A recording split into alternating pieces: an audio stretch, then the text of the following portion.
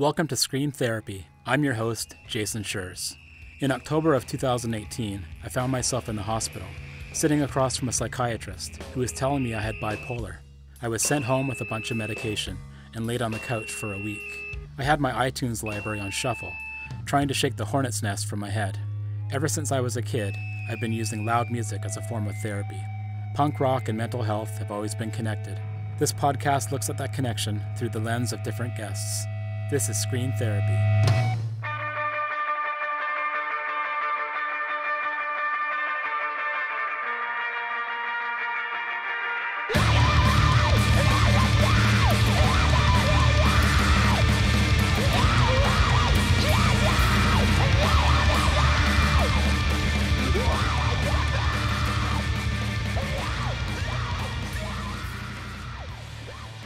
I know a lot of punks who end up in social work and the mental health sector.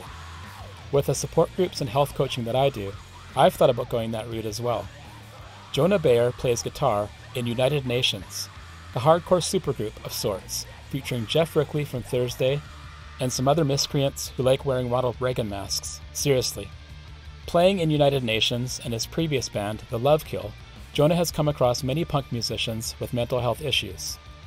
With this in mind, Jonah decided to pursue a career in mental health counseling. In 2019, he enrolled in the Clinical Mental Health Counseling Program at Antioch University in New England. With a handful of classes left before he starts his internship, Jonah is coming up to the finish line for his master's degree. Jonah's long term goal is to provide counseling for bands. With his experience in the punk scene, he can relate to band dynamics, the pressures of touring, and what he calls arrested development what to do for a career outside the band. Scream Therapy has featured several punks working in the mental health field. When Jonah enters the professional counseling world, I'm sure he'll share his punk ethos with his clients. They'll be lucky to have him.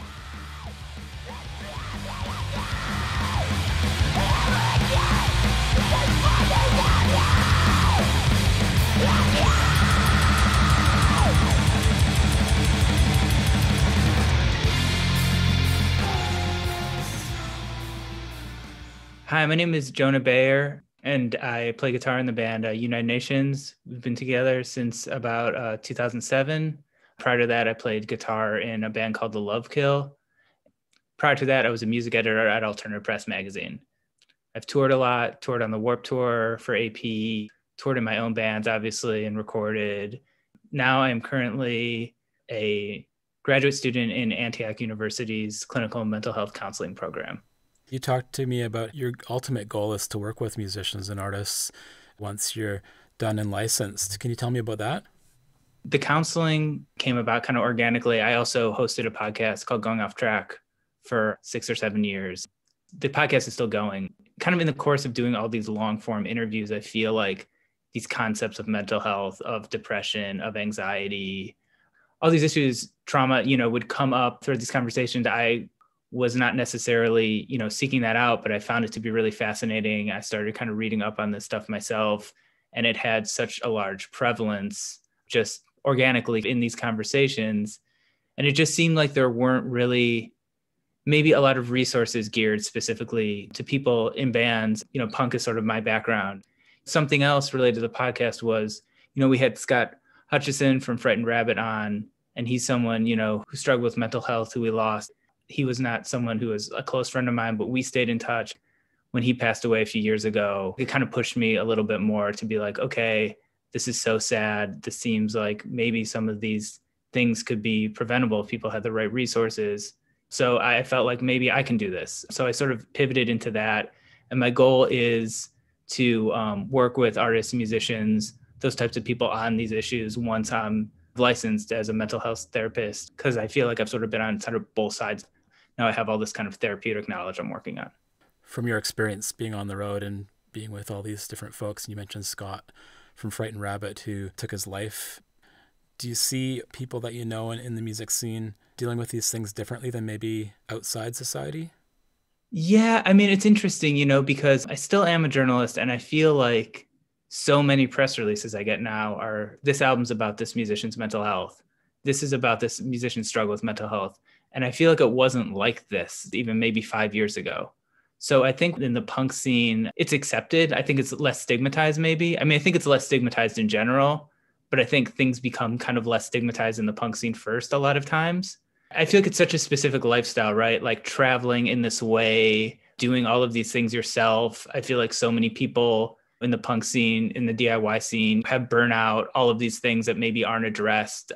I feel like there's so much kind of self reliance, and I think that can be a good thing. But I think also it can be hard maybe to know when you need to reach out for help. What drew you to punk rock in the first place? I was into like Guns N' Roses and like metal as a teenager. And then I think my first punk show was I saw Down by Law, Good Riddance, and Millencolin. I don't know. When I was like 15, I stage dive. I was like, oh, this is so cool. And I got like super into Epitaph and the Fat Wreck stuff. All the Victory Record stuff was so big, mid to late 90s.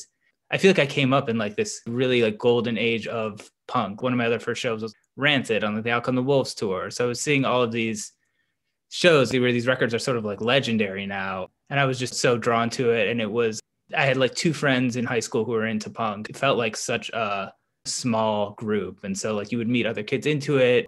There wasn't social networking. So it was a lot of digging for records. I worked at a record store. So I was just really involved in that world. And then when I went to college, I started working on this zine law of inertia that i did for a couple years and that became my really big passion was reviewing records and just listening obsessively to music so those early shows were really kind of influential i mean i saw green day and the dookie tour i mean all this stuff it was just what was happening at the time and now you look back i guess it's like classic rock or something sounds like we were at some of the same shows but on different sides of the country here so, how did you connect with Geoff Rickly and the United Nations guys? I know he formed the band and it's been pretty mysterious about who was in it, but how did that all come together? I met Geoff on Warped Tour when I was working for AP in 2002. The New York Times dubbed it the Summer of Screamo. That was the year that the Used, Thursday, Thrice, all of these bands had this sort of mainstream crossover. And so we were both in our early 20s, I guess. I became friends with Geoff just basically through seeing him every day for two months. We were into like a lot of the same kind of music and stuff. And then I was playing in this band. I was living in Cleveland. I was playing this band, The Lovekill. And somehow Geoff, I gave a CD to Geoff. I don't remember, but Geoff ended up liking the band and he signed us to his label at the time. So we signed to Geoff's label and we toured a lot. When the band broke up, I ended up moving to New York.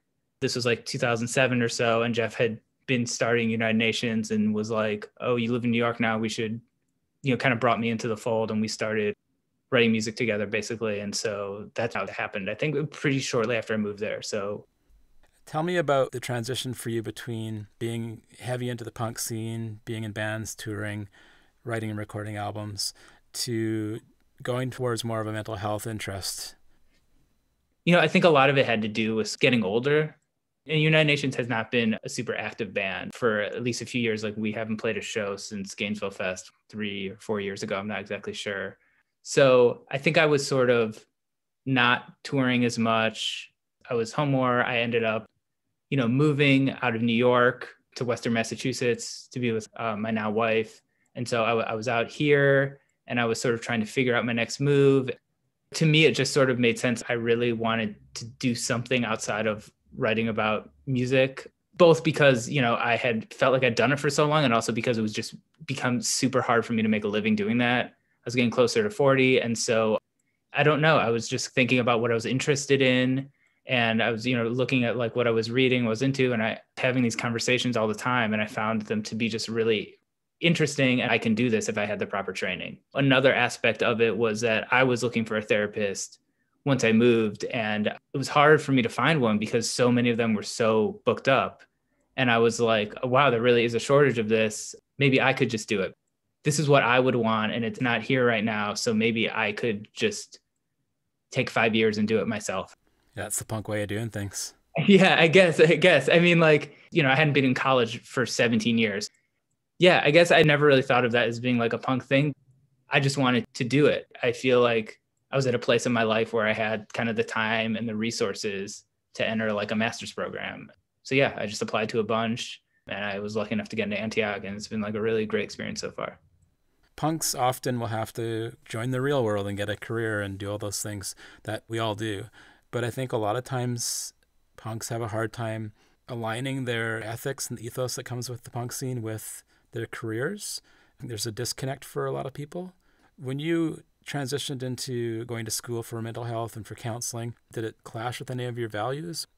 No, it didn't. And I feel like that might not be true of a lot of occupations or programs, but I feel like, especially the program I'm in, there's such a social justice focus in it. I mean, it's really aligned with progressive politics. I didn't really feel that way. I felt like it's pretty closely aligned with punk, but I definitely felt what you might feel the adjustment of having homework. You know, it's very structured. It felt really actually aligned with punk in a lot of ways. It felt pretty, maybe not radical, but it felt super progressive. That makes a lot of sense. A lot of the people that I know in the punk scene are doing jobs in social work and the health sector. There must be something there. You don't see a lot of punks in advertising. There's a connection there, I think. Yeah, I think so too. I, as evidenced by your podcast, like I found out about your podcast through a newsletter I got from Justin Pearson, who had been on my old podcast. I think the fact that this podcast exists, being able to book guests, proves that there's definitely some sort of crossover there. You talked to me about uh, this concept of arrested development and how artists, especially musicians who are touring, punk bands that are trying to make a go of it for even a couple decades sometimes, get caught in this place between that life and potentially their next stage of their careers. Yeah, I mean, I think that's true on so many levels. You know, I just think to a lot of friends that I have, people in the industry or people in bands who, in order to be in a band, you really have to dedicate yourself 100% to it. You can't just tour part time, you know, when you're in your 20s. So I feel like I have so many friends who didn't go to college or dropped out of college to do the band. Flash forward 20 years, and it can be difficult to obviously have a band that you can sustain it. And, you know, so I think there's a lot of time when you're on the road where you don't have to really have these kind of responsibilities. I remember I did an interview for AP a cover story on Fall Out Boy, and I remember Pete Wentz saying, you know, I moved into a new house, I didn't know how to set up the cable. You just have people that do things for you. Obviously, that's like a super huge successful band, but even on, on a lower level, you sort of you'd show up to a venue. It's like, here's what you're eating, here's your drink tickets, you're staying at someone's house, or you're going to get a cheap motel. I mean, there's so many of these life things that you don't need to worry about. And I think that can be exciting, especially when you're younger. But I do think that as you get older, it can be difficult to adjust, you know, ease back into that world. And some people are able to do it super well. But I think for some people, it can be really hard to transition from being on the road and being just responsible for the band to having a career or other things and i also think that communication i think is can be such an issue within bands i think there's a lot of interpersonal communication that i've seen in so many bands that people maybe not having the emotional maturity or the emotional kind of skills to communicate with each other. And I think if I would like to also sort of work with groups and maybe help help facilitate those kind of conversations because I think it would benefit so many bands. It's like, you know, we see so many bands that sort of break up. I think a lot of that can really be due to people not getting along. And I think a lot of that comes down to communication. I just think there's so much going on there. I think it can be a hard thing to understand if you've never been a part of that world. And I think about it as being a place of resilience, being in a punk band and the lifestyle that comes with that. And there's a lot of potential there for things to go off the rails. That particular lifestyle or scenario, it can have a lot of charge to it. Oh, yeah. Yeah. It can be like comedy or any of these things. I mean, I think there can be a lot of catharsis through it and a lot of positivity. And I also think it can have this darker side of being in these clubs every night, drinking. It can be tough, especially when you have expectations and maybe they don't they don't work out the way you want them to and you've put so much of yourself into this. I've never been in like a full-time touring band that was playing like 200 shows a year, but I can imagine how taxing something like that would be.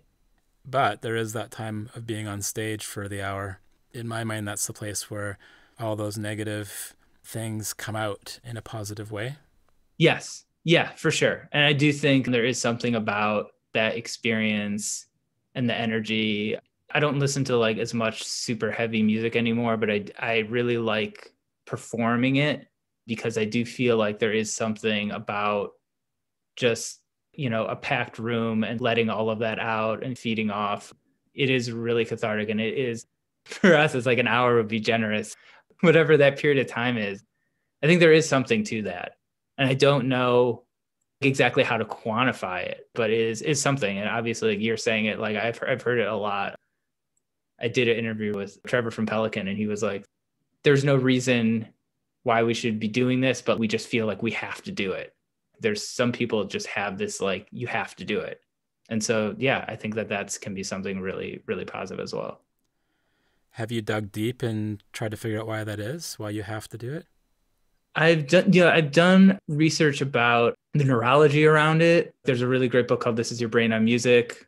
I did a report on that and I've read a lot. I think a lot of it, us talking about these 90s punk shows, I mean, that is a, a super important developmental time as a human. So you're forming these synaptic connections. These teenage years, I think, are so important to your development. That's when a lot of people get into punk, right? there is something to being kind of immersed in this scene at this super important developmental era and how it kind of manifests itself through your behavior as an adult. Because there aren't like a lot of things that you get into when you're a teenager that you necessarily carry with you your whole life. And, you know, obviously not all people that get into punk as teenagers carry with them the whole life, but it seems like a lot of people do. They might not be in a band, but they still are going to pick up the new Thrice record or something, even if they're not going to show. So I think there is something developmental about it but I don't know how to quantify it, I guess, as far as the live cathartic experience. I don't know exactly what that is. I mean, maybe it's some kind of thing in our DNA. So you've done a lot of music journalism over the years, talked to a lot of bands. You mentioned some names before. I'm sure you've talked to everything from upstart bands to bands that have been millionaires or whatever. I'm wondering if the subject of mental health comes up a lot or whether you get a sense of folks that are in the punk scene grappling with those issues and feeling comfortable to talk about them? It's something that's come up a lot. I think it comes up a lot now. I mean, I think it's it's been way less stigmatized. I think it's something that can just be really relatable to hear about. It comes up a lot. I just think it's changed. I mean, like I said, I think so many records today are about mental health or about struggles with that. And so um, people are putting it out there to talk about it and kind of raise awareness about it. I think it's really fascinating. And I think, um, you know, some of the guests you've had on the podcast from the punk world who have transitioned into therapy, that's something that I'm just super interested in hearing their perspectives and learning about their journeys. To me, it's related in some way, right? I feel like if I went back to like learn like accounting or something, I would be it doesn't feel that different from what I was doing before. I mean, it just seems so much of counseling is interviewing which is obviously journalism that you know that's interviewing so you're doing a therapeutic interview so there's you know a different technique to it and it just takes a lot of practice and a lot of kind of psychoeducation what are some of the themes that have come up when you talk to punk bands about these issues i think there can just be a lot of imposter syndrome. I know for me like i feel like I don't know how to play guitar half the time, but I'm like, I've been doing this for so long. I've helped write all these songs. It can be hard to feel confident or something or especially in the punk scene like i feel like so many people could hear United Nations and be like okay like this is a guy screaming like i don't understand this. This sounds like noise. Yeah i would say imposter syndrome a lot of anxiety. I think there can be you know depending on on your band i think there can be a lot of pressure if you have success to replicate that success I think there's all of the strain that touring can put on your interpersonal relationships, the strain it can put on, on your bandmates. I think, you know, collaborating with bandmates, I mean, I think that that can be a huge thing. People not feeling heard when you're creating something, certain people maybe getting publishing if you're in a bigger band. I mean, there's so the, the whole business side, I think, can be super hard to navigate. I've never been in a band where really that's brought in enough money for that really be an issue, but I think it can be obviously for a lot of bands. I think depression, obviously. If you were counseling bands or different musicians, what would be your approach? I think my approach would be just to kind of get everyone to sort of listen to each other. Active listening can be so important. I think when you're in a band, people feel like they have to advocate for themselves so much to get, you know, get their ideas out. Just listening to maybe other people's points of view about maybe the situations or what's going on. Communication is just so so important. It's something that takes work to really do effectively. And i think a lot of the bands that are successful have this ability to sort of communicate and have been together so long where um, they're able to kind of navigate that. And I think some people can need some help. And so I would, yeah, I would just want to help everyone kind of hear each other, understand where they're coming from.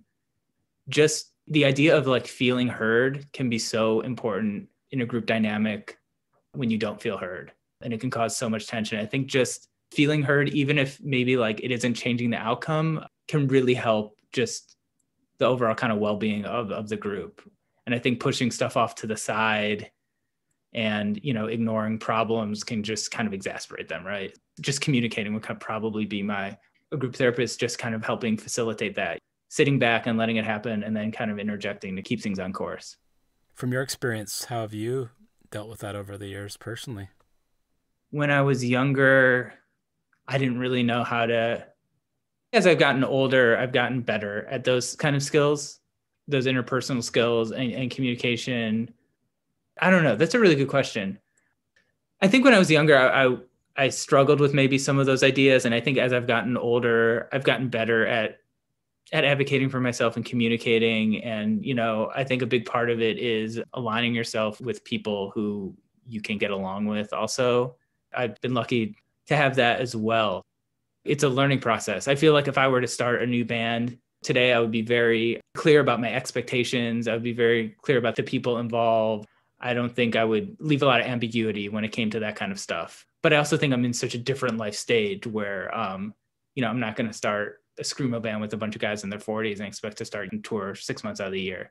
I think a lot of it comes with age and life experience, but I also think that there are techniques that they can be learned. So I think I'm working at it like everyone else, but I feel like I have come a long way from when I first started playing in bands where if an idea of mine didn't get accepted or didn't turn out the way I wanted, then I would be super invested in it and I would have these expectations and be super upset. Now I'm just happy to play music or just happy to kind of catch up with everyone. And it, it's much less pressure, like clear expectations on what it is, I guess, at this point in my life.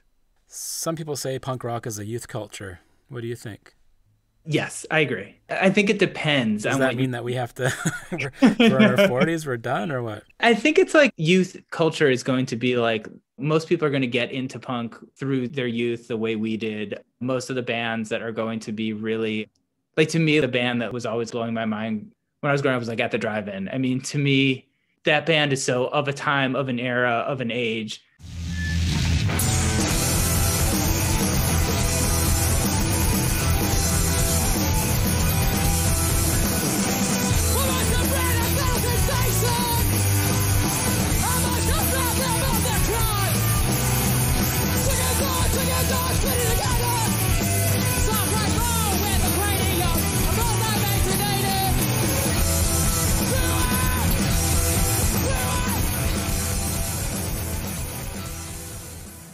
you know there was so much talk like will there be another at the drive-in?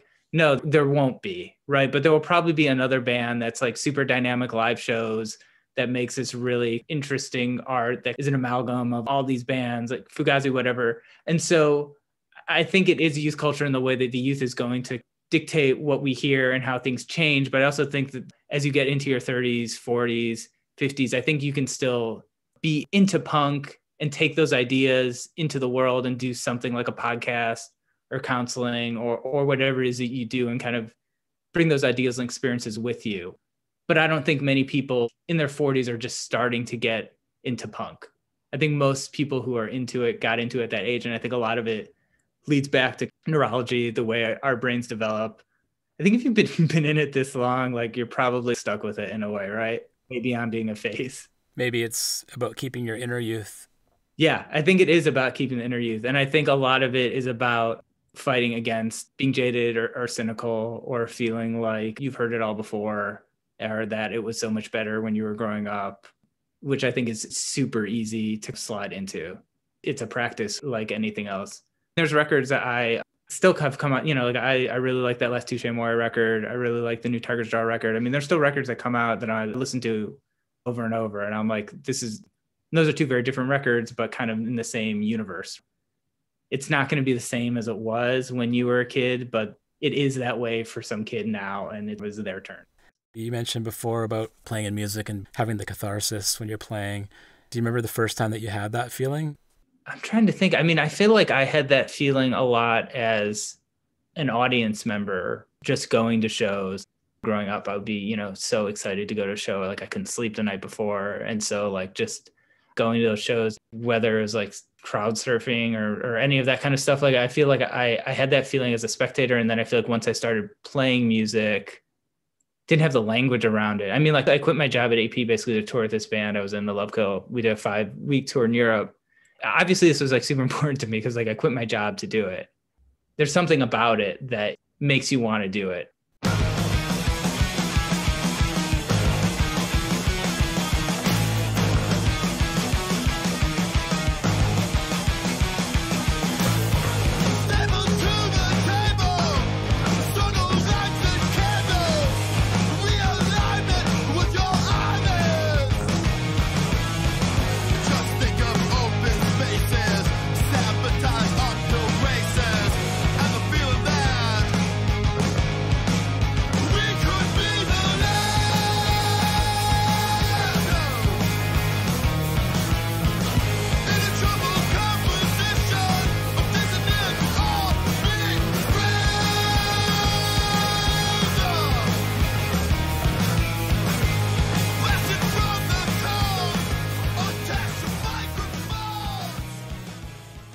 Thanks for listening to the latest episode of Scream Therapy.